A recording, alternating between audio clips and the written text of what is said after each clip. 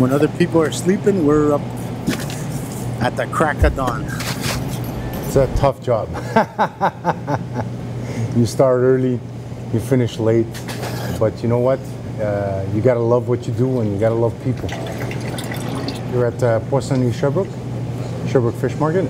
Uh, we've been around for about 45 years.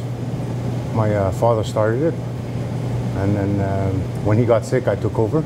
Poissonnerie Sherbrooke. Had a choice. It's either continue school or take over.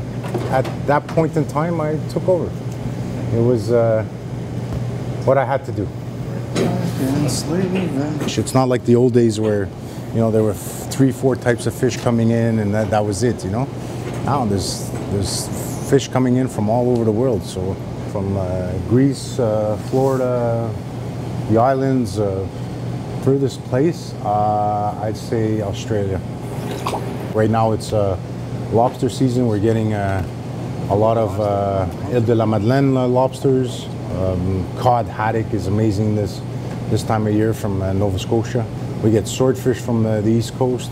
So a lot of people are grilling. So it's, uh, pretty busy right now. My biggest sale by far salmon. People love it.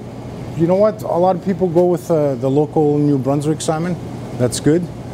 It's a it's a cultivated salmon, but it's uh, it's one of the better ones than uh, salmon that's grown in Chile or salmon Atlantic salmon that's grown in the west coast.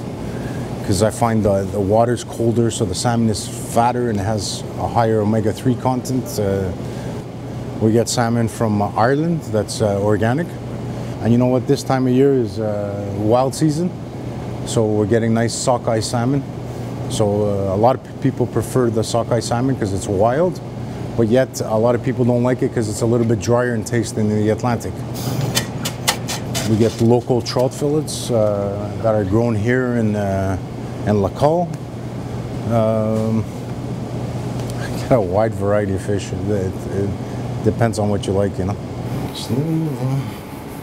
Every day. As days go from anywhere from four till uh, seven thirty at night, maybe, maybe sometimes longer. You know, depending on how the day goes.